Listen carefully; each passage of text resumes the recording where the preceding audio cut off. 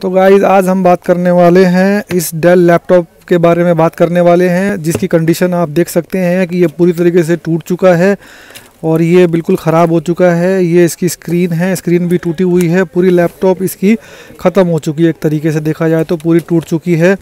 और बेसिकली हमें इसके अंदर करना क्या है, ये देख सकते हैं, पूरी टूटी हुई है। हम ये देखिए, ये टूटी हुई होने के बावजूद भी ये अभी डायरेक्ट ऑन हो रही है। ये देख सकते हैं आप इसके अंदर लाइट जल रही है इसके अंदर। लेकिन बेसिकली हमें इसके अंदर लेना क्या है? हमें लेना है इसका डेटा क्योंकि इसके अंदर सारी चीज़ें हो चुकी है ख़राब तो हमें बेसिकली इसका लेना है डेटा तो इसके अंदर हम डेटा कैसे लें? ये सारी चीज़ें मैं आपको इस वीडियो में समझाने वाला हूँ। तो गाइज़ इस वीडियो को आप एंड तक ज़रूर देखें। और साथ में अगर ये वीडियो मेरा आपको अच्छा लगता है तो please like share and subscribe ज़रूर करें। गाइज़ ये इसके अंदर से देखिए, ये हार्ड ड्राइव इसकी निकली हुई है। ये वन टी की हार्ड ड्राइव है और ये हार्ड ड्राइव इसके अंदर से निकली हुई है, जिसके अंदर से हमें डेटा निकालना है। तो मेनली डेटा निकालने के लिए ये सबसे पहले इसके अंदर हम इसको यूज़ करेंगे केसिंग केसिंग के अंदर। और ये चेक करेंगे कि केसिंग के अंदर ये डिटेक्ट करती है कि नहीं करती है।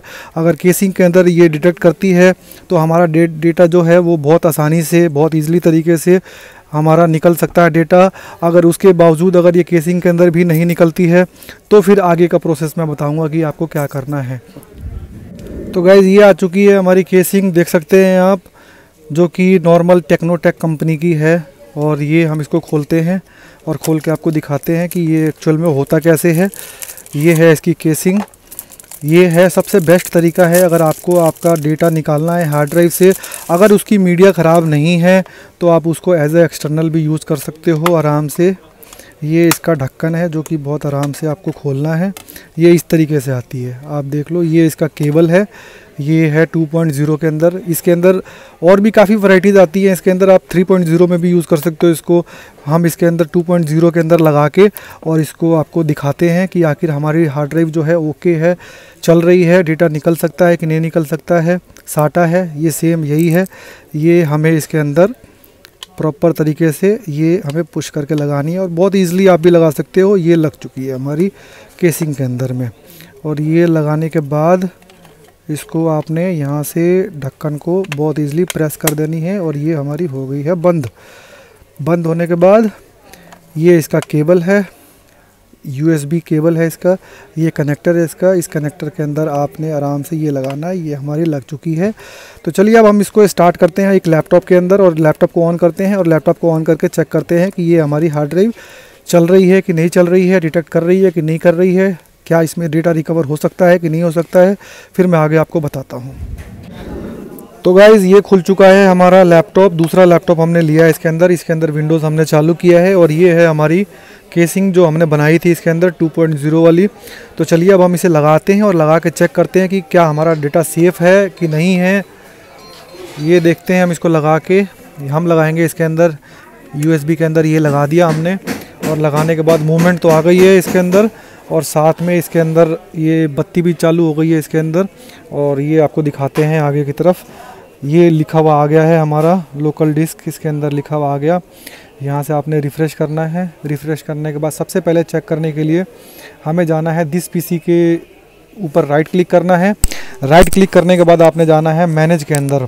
ये चेक करने के लिए कि डिवाइस डिस्क मैनेजमेंट में हमारा ये शो कर रहा है कि नहीं कर रहा है। ये आ चुका है हमारा डिस्क मैनेजमेंट और साथ में ये देखें, ये आ रहा है हमारा एक हज़ार जी की जो हमारी एस थी जो कि हमारी ये आ रही है इसके अंदर में। तो ये हमारा जो हार्ड ड्राइव है ये ओके है और हम इसके अंदर से डेटा निकाल सकते हैं। उसके लिए सीधा दिस पीसी खोलना है और दिस पीसी को खोलने के बाद ये है मेरा डेटा जो कि सारा सेफ़ है। अब यहाँ से मैं इसे कॉपी पेस्ट कर सकता हूँ और कॉपी पेस्ट करके और अपना सेव कर सकता हूँ। सो so, बहुत सारे लोग ऐसे होते हैं जो ये सोचते हैं कि अगर लैपटॉप अगर इस कंडीशन में है ये अगर लैपटॉप की ये कंडीशन है और ये इस तरीके से ख़त्म हो गई है तो बहुत सारे लोग ये सोचते हैं कि लैपटॉप के सारे पार्ट्स भी ख़राब हो चुके होंगे या चीज़ें ख़त्म हो चुकी होंगी तो ऐसा नहीं है। मे भी उसके अंदर रैम ठीक हो सकती है या बैटरी ठीक हो सकती है। या डेड कंडीशन में अगर लैपटॉप है तो भी उसके अंदर कई सारी चीज़ें ओके होती हैं, जो कि हमें चेक करने के बाद पता चलती है। और ये सोच के बहुत सारे लोग जो होते हैं और उसे क्या करते हैं, ये हम करते हैं इसको डिस्कनेक्ट को डिस्कनेक्ट कर दिया हमने इसको। और बहुत सारे लोग ये सोचते हैं कि ये हमारा ख़राब हो चुका होता है और डेटा वो एज इट इज़ वो अपना छोड़ देते हैं।